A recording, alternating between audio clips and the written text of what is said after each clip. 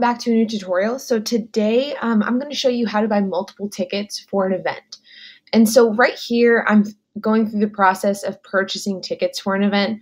I've already registered for the attendee and um, we have already discussed this in another module. That's why I'm kind of cutting this one, cutting out the fluff on this one.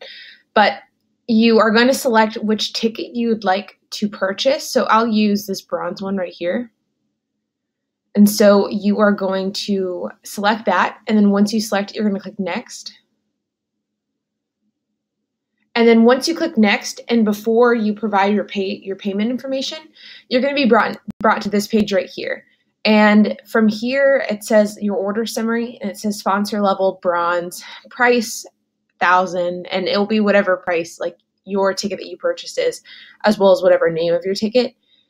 And then right here it says quantity. And so whenever you click on quantity and before you pay, you can edit this to however many you want. So if you want to buy 10 tickets, if you want to buy two, if you want to buy one.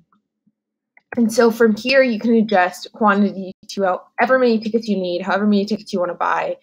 Um, and then you can also remove the ticket from here as well. So if you'd like to remove it. And then from here, you would just agree to the terms and conditions